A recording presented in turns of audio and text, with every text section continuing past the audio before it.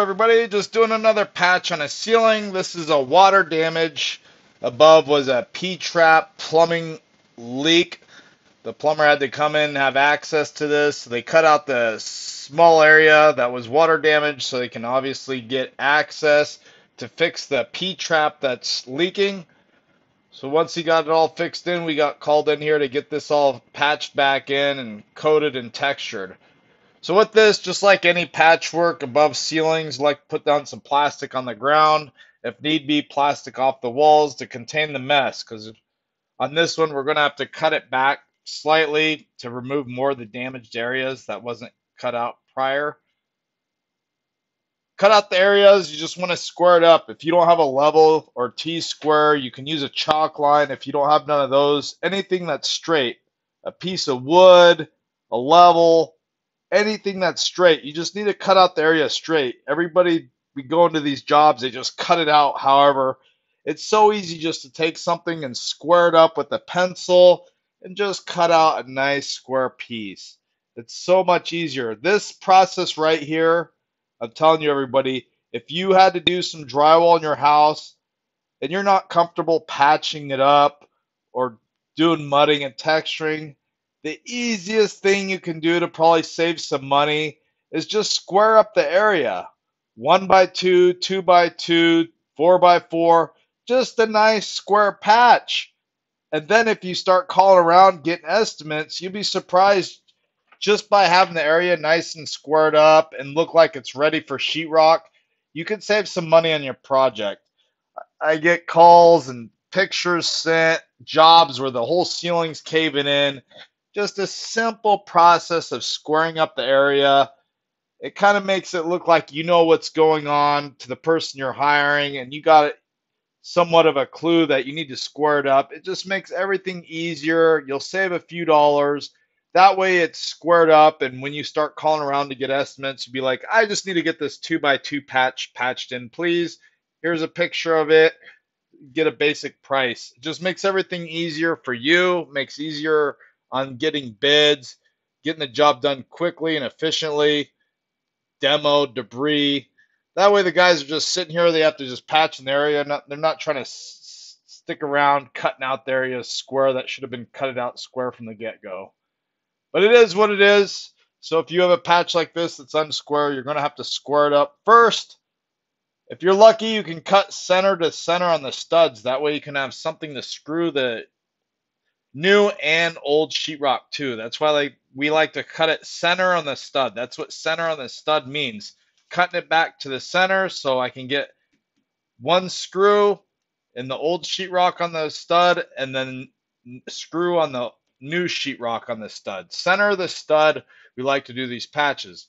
If there's no studs and you're not able to cut center the stud, then just add wood backing. Anything works for wood backing, one by twos, two by fours, wood sheeting.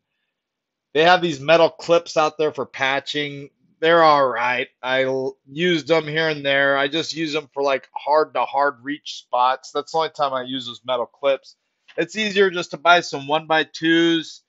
I like to use one by threes, honestly. They're a little more expensive than one by twos, but they don't split on you when you use them.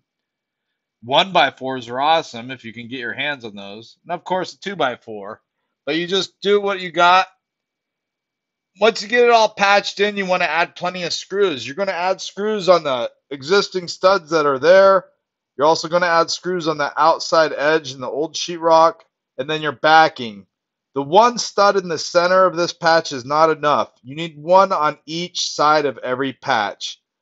Every job I go to, they just say, oh, yeah, the patches are ready. Just come in and they just put a screw in the center. Then we have to take the screw out, take the patch out, add wood backing. So you always have to add wood backing on both sides of the patches is ideal. Smaller patches, you get away with one stud in the middle, just like a small patch, like a six inch patch. But one foot, two foot patches, you're going to need studs on each side of the patch. That just makes everything nice and tight. I'm sure it'd hold up if you mud, taped it and mud it and textured it. It might not crack, but we don't want to go through all this work of mudding and texturing and cleaning up for it to crack out.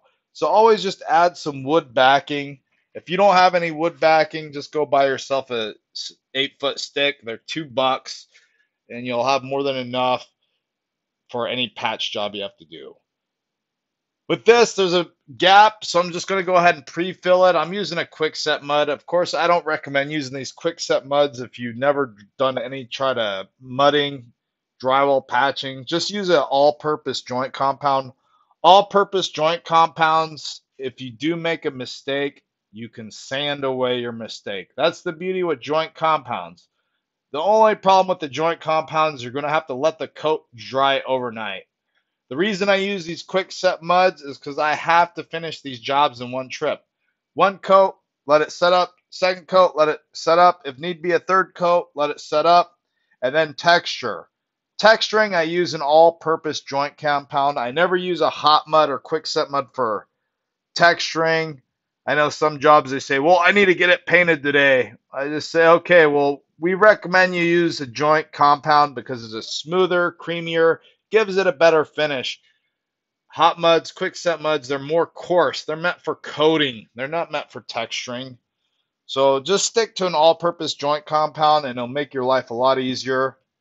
If you're more professional, then you can use these hot muds, but just stick to the joint compounds. Get it all coated. We do drywall every day, so sometimes we can get away with a nice heavy first coat with the hot muds and then slick it out and almost like a second coat. But you're going to need at least two coats, maybe three tight coats will give you a nice patch. When in doubt, you could even skim it out again. Texture is not meant to cover up imperfections. Your patch needs to be perfectly smooth before you texture it. Is this patch ready for texture? All you ask yourself, if I paint it now, would it look good under paint? No? Well, you're going to need another coat. Patching needs to be smooth, nice and level, sanded or slicked out, ready for texture. Texture is just a cosmetic finish. And of course, depending on where you are, you might have a smooth texture out here, I have a lot of different textures. This is like a skip trowel style of a skip trowel texture. But if you have a smooth texture, you would just finish it off with a tight skim coat with an all-purpose joint compound, a real tight coat, and then turn around and sand it before you primer and paint. But yeah, easy patch job like this. It's like a 2 by 2 patch, less than that, but there's still some work involved getting it all cut back get it all sheetrocked, tape coated two times, and then we follow through with a texture using an all-purpose joint compound.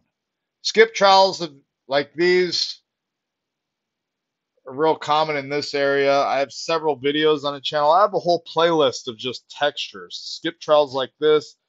So if you want to learn how to do a different type of texture, your best bets, you know, maybe practice, watch a few videos, see people's techniques, Notice I'm using a 6 inch knife when I do the texture on here. A lot of guys like to use these big 18 inch, 24 inch knives for skip trowel. That's fine if you're doing all new ceilings, new walls, brand new. For patchwork, just stick to a 6 inch knife. If you master a 6 inch knife, then you can move on to a bigger knife. But everybody wants to jump in and start using these big knives when they can't even use a 6 inch knife. So no need no need to go out and buy every knife that's out there. Basic six inch knife and maybe a 10 inch or 12 inch knife is more than enough to do your basic repairs. Honestly, I have a lot of knives that I carry with me, but my go to drywall knives are my 6 inch knife and then I have a 12 inch knife. And I can pretty much do most of my work with those two knives.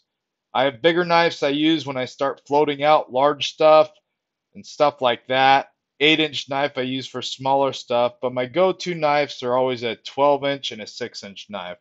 But yeah, simple video, patching this up, easy, easy, easy. Do it yourself repairs. I have a whole playlist of patchwork like this, from electrical, plumbing patches. I have a playlist of textures. So there's a whole lot of videos in this channel. If you haven't done it already, go ahead and subscribe. And if you also haven't done it already, go ahead and leave a like and comment. What these do is help us get this channel found. The channel's grown, but I like it to grow faster. The more it grows, The more videos I'll make, better videos I'll make. So hey, thanks for viewing, thanks for subscribing, thanks for liking.